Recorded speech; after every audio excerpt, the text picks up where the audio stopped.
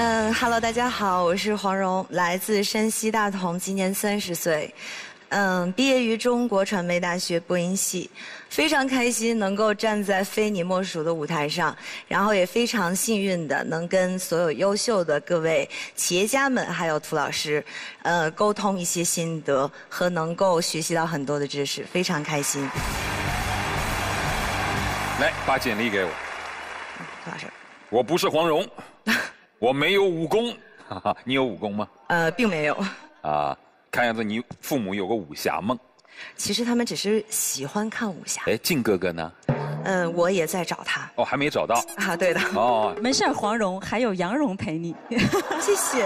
好，我们聊一下黄蓉。黄蓉今年是三十岁。不不，我是今年毕业多少年？啊，毕业有一阵子了。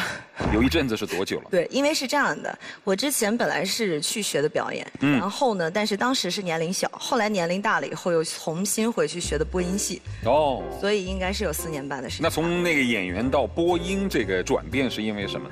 我其实想去学播音的这个原因，是因为我觉得在台词上面可能会有更多的一些提升。嗯，那你印象当中最喜欢的影视剧当中的台词，能够我们随便来一段吗？我这个真的是记不起来，一段都没有。嗯，本来说你可以展现一段是给你加分的，但是你忘记了，那就算了。嗯，那就咱们这个就当做没有提过，那所以你现在。你又学了播音系，你又学了表演，那你今天来找哪一类的工作呢？啊，我想找影视类的工作。哪个岗位？呃，主持人，因为我觉得我性格可能比较开朗一些啊，一边提升自己吧，就是我想做到制片人的这种位置。自己参与制片过的一些。这个短剧也好，长剧也好，做过没有？对，有过。哎来，把作品说给我们听一下，看我们听过没有？其实搜索百度《武媚娘传奇》黄蓉，就是都会有我曾经的这些链接。哦，不好意思啊，我还没有看到他的专业，但是我我不知道为啥那个涂老师刚才您您跟他对话的时候，我有一种听明星采访的感觉，就是姑娘的专业我还没有读出来，但是起范儿。啊，听着特别起这起范儿。他说你起范儿。涂老师，因为主要是我涂老师带的好，节奏特别。那我问一下，你最喜欢的制片人是谁？你最喜欢的演员是谁？一个国内的，一个国外的。哦，国外的那个杜老师，我必须得承认一下，国外的话这方面我实在是知识非常欠缺。呃，但是国内的演员的话，比方说我喜欢刘嘉玲。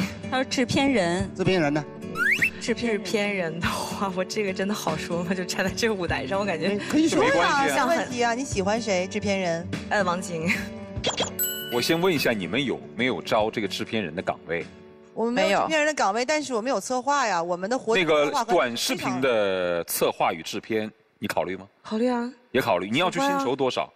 哦，我写的新手好像并不多，因为我想在这里再表达一下我的想法，因为就是呃喜欢这个舞台，然后这个舞台给我机会让我站在这边表达表达一个求职的一个意愿和想法，呃，那么这个薪资我并没有写的很高，就是在我的简历里，我的想法是我们简历上面写的是多少？两万。啊，对，我正要说，谢谢，是因为我觉得一呢，表达我的诚意，因为我自认为我很多地方是不足的，所以我非常希望就是说可以找到我意向当中的职位，然后希望可以呃能多多学习吧。黄蓉，我想说哈，就是咱们好好聊天，好好的求职，把你的假笑，嗯，和你的就是这个。左顾右盼的这种神情稍微收一收，就像小月说的起范儿一样。我会觉得我是一个娱记，我特别是一个招聘的。对，是吗？这个不好意思，我解释一下。还有假，还有假谦虚也收一下。呃，表现的非常的不真诚。哎，其实我觉得他挺真诚的呀。我真的觉得我装的很真诚，那其实非常的不真诚。就是有几个简历的问题，我想问一下这个黄蓉。好呀。是这样，就是因为我看到您的那个学历是在一四年在传媒大学，对吗？对。呃，其实您的工作经验是从哪年到哪年？因为工龄写的是五点五年，但是从经历上我看一零年就开始了。是这样的，五点五年刚才是因为直接写的是现在的拍戏的时间，就是我后期一直在影视类的行业里，因为我今天想主要过来求职的是影视类，所以直接写了影视类的五点五年。好，那在传媒大学之前，您的学历是什么？之前因为年龄小去学表演的时候，然后我没有学历。初中？对，高对高中，高中正常上完的。所以一一年做人事主管，这个应该是您高中学历应聘上的主管岗位。嗯，对，没错。那个时候已经挣到了薪资一万二，人事主管。呃，是一步一步做上去的，一年半的时间。就是这个一万二是每个月的月薪，是在九年前就做到的。嗯，对。如果说您的学历是高中啊，用了不到一年的时间做到主管，而且给到一万二，这个确实是市场上挺高的，一定意味着您在绩效上有很好的表现。那您可以讲一讲您在这方面做了啥？这也是一个真实的这个能力的显示吗？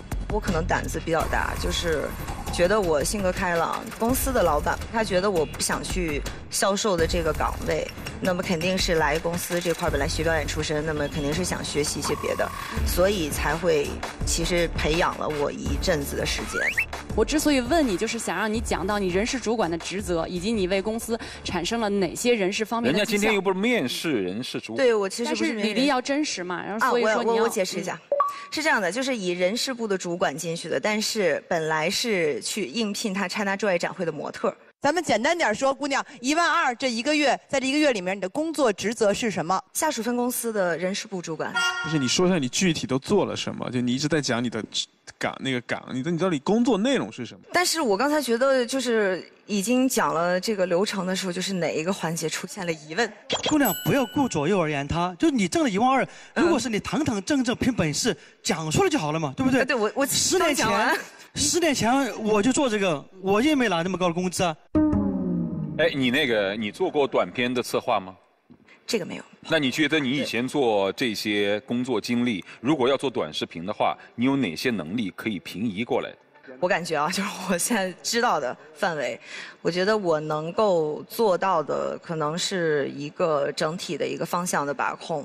影视剧以外，其他的工作考虑吗？比如说像小叶那儿的活动策划之类的，考虑吗？这个不太考虑了，就是一定要与影视剧或者短视频相关，啊，是这意思吗？对，是的。